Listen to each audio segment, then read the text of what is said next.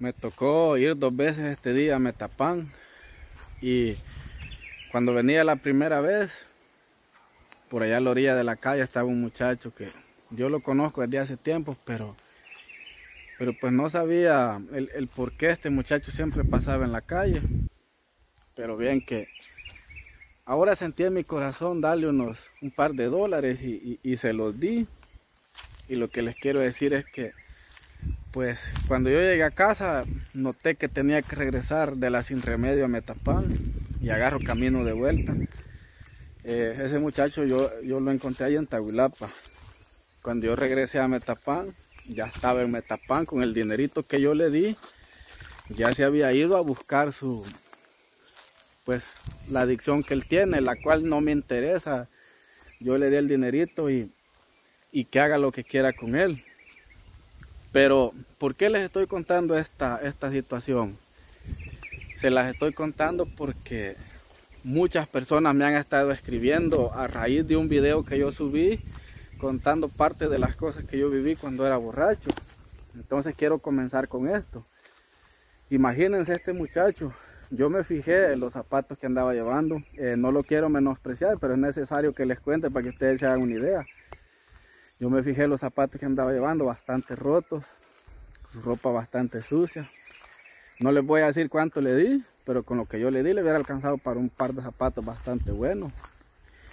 Y por curiosidad lo seguí, no porque me interesara dónde gastara lo que yo le di, sino que a mí me, me llama la atención estos casos porque yo soy un sobreviviente gracias al amor de Dios de todas estas cosas. Y lo seguí y sí, efectivamente, pues él fue a comprar sustancias nocivas. Y de verdad que eh, me, me, como que me hizo, me hizo devolverme en el tiempo cuando yo hacía lo mismo. Eh, yo, yo pedía a la gente que conocía y a la que no conocía, pero a la que conocía le pedía con más, con más entusiasmo y era dándome el, dinerito y para la cantina o, donde quiera que estuviera. Entonces, eh, he recibido muchos mensajes en estos días de personas de México, de Honduras, Guatemala, de acá mismo El Salvador. Me han estado escribiendo de Estados Unidos, incluso me escribieron de Argentina, eh, preguntándome que si cómo logré vencer mi adicción al, al alcohol. Y sinceramente es un poco complicado tratar de, explicar esto porque muchas personas no creen en Dios y se respeta para empezar.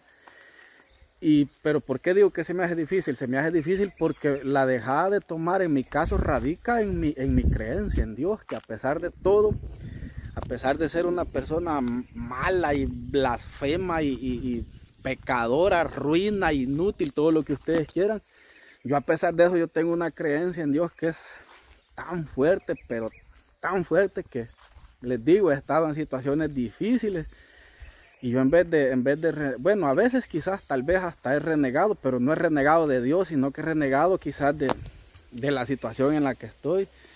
Entonces, explicarle a una persona que no cree en Dios que Dios me sacó de la adicción es bastante difícil y, varias personas de las que me han escrito efectivamente no creen en Dios.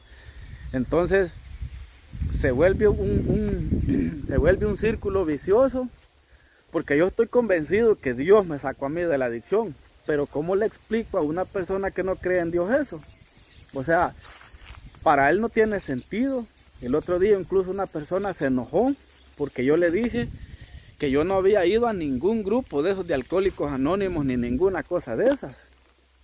Yo le dije que a mí Dios me había ayudado y me ofendió, bueno, no me ofendió, me, maltrató, pero que te maltraten y a que te ofendan hay, hay, mucho, mucha diferencia. A mí me pueden pasar maldiciendo todo el día, pero si no me tocan las cosas que, que me ofenden, no importa. Pues este, este muchacho se enojaba conmigo, pero no son de los que me han escrito ahorita, sino que antes. Y me decía que esa era una me decía, es una pensar que, algo que no existe, me decía, te va a sacar de, del vicio. Y le decía yo, y, él me decía, para eso están los alcohólicos anónimos, para eso están las instituciones, que no es que yo le dije. Y usted le digo yo, ha ido a esas instituciones, sí, yo he sido parte de Alcohólicos Anónimos. ¿Y cuánto tiene de no tomar? Ah, es que a mí no me ha funcionado, me decía. Ah, vaya, le dijo, ¿sabe qué? Le dije, cuídese mucho, ya no, ya no podemos seguir hablando. No estoy en contra yo de las instituciones que ayudan contra el, contra el alcoholismo. Son buenas, a muchas personas les sirven. En mi caso yo no acudí a ninguna, ninguna cosa de esa. Primero porque acá no hay. No porque les voy a ser sincero. Cuando uno anda en la situación, porque yo andaba en situación de calle, yo andaba peor que un homeless. Yo andaba peor. Porque yo sí tenía donde dormir. Pero a mí me gustaba dormir en la calle, ¿saben por qué?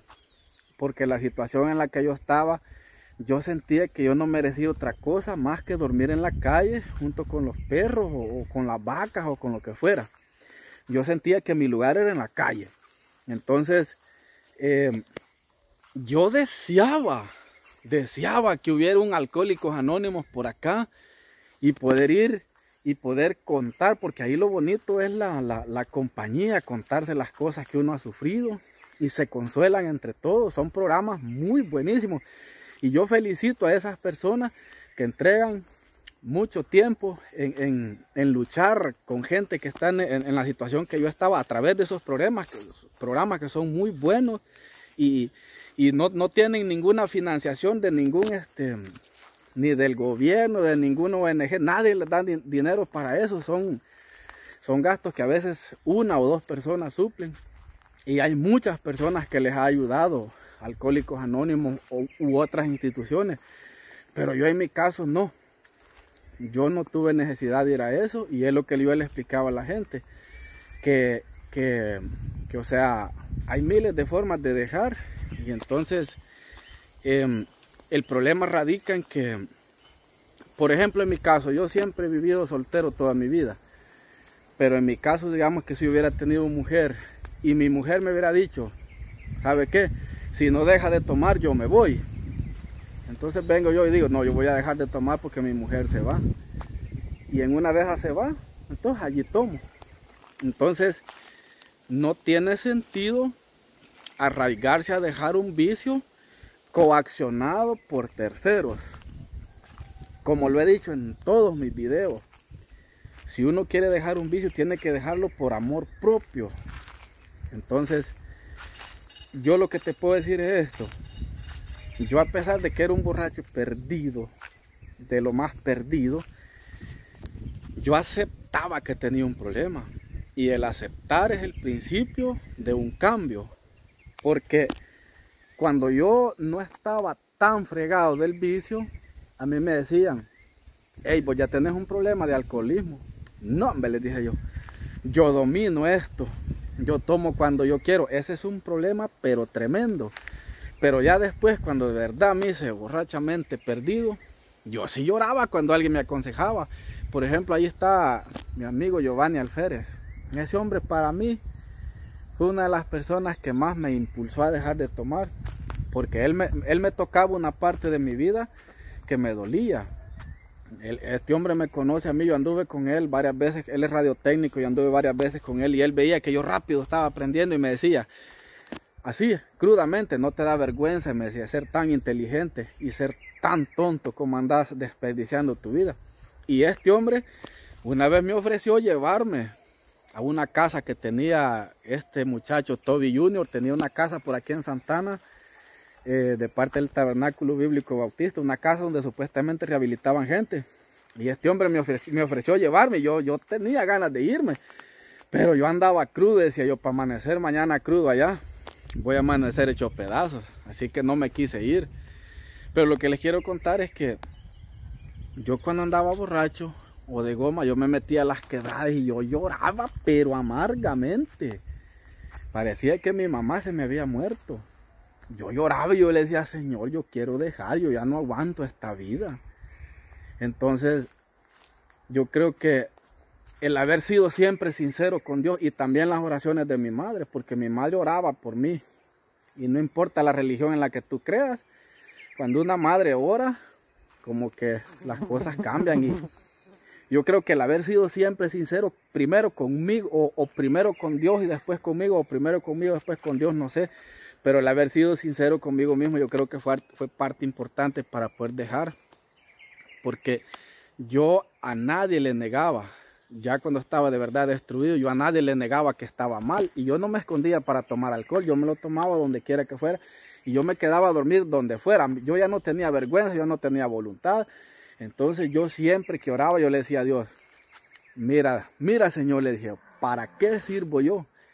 ¿Para qué sirvo yo así como estoy? Yo ando hecho un despojo humano, yo ando hecho una piltrafa, yo ando hecho, o sea, ya no hallaba ni, ni con qué compararme. Y yo le decía, pero, pero tú que ves con los ojos de la espiritualidad, si ves algo bueno en este pedazo de porquería, sácame de aquí, porque yo ya no puedo. Te entrego mi espíritu, mi voluntad y mi cuerpo y haz un milagro. Pero no radica solo ahí, porque yo tuve que ir a parar al hospital, pasar en coma cuatro días, quedar mi lengua así. Esas señas que ustedes ven ahí son convulsiones que yo tenía. Yo me escapé a partir los nervios, eh, los nervios sensitivos de mi lengua, me los escapé a partir o, me partí algunos. Tengo el 50% menos de sensibilidad en mi lengua. Pasé tres meses sin poder hablar. Eh, una señora muy querida para mí, que yo le digo tía Dina, se reía cuando yo llegaba a la tienda y le pedía a un jugo Así le dije, a un jugo. Y ella me quiere mucho. Ella no se burlaba de mí ni, nada de eso, sino que le daba risa. O, hoy después incluso todavía me recuerdo, me dijo, ¿te acordás cuando ella me decía, dame un jugo? Yo no podía hablar. Pasé tres meses sin poder hablar porque mi lengua quedó, un 10% eh, quedó pegada.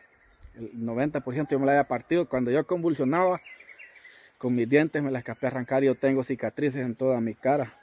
Entonces, a esas personas que me han escrito, yo les digo, se me hace un poco difícil explicarles algunos, porque pues claro, me han dicho que no creen en Dios, pero los que sí creen, yo les puedo decir, la experiencia que yo tengo, que yo fui sincero con Dios, yo no le escondí nada a Dios, Dios todo lo mira, pero necesita que uno se lo confiese de boca, entonces, y de corazón, y con todas sus fuerzas pedirle que si para algo sirve uno estando aquí en la tierra, como en el caso mío, que lo saque de allí.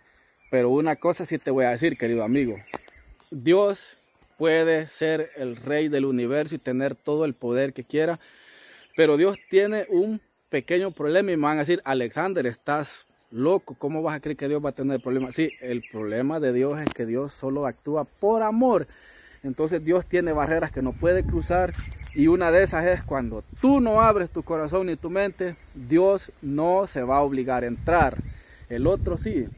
El otro no necesita que tú le abras tu corazón. El otro entra por la vista, por los oídos, pero Dios entra solamente cuando tú abres la puerta. Y esa puerta la puedes abrir solamente de adentro, no se puede abrir de afuera. Dios no va a llegar y va a quitar llave, la llave la tienes que quitar tú. Y no importa cuánto llores, cuánto grites, cuánto patalees, si tú no le abres tu corazón a Dios y le dices que te cambie, aunque Dios quiera cambiarte, no va a poder.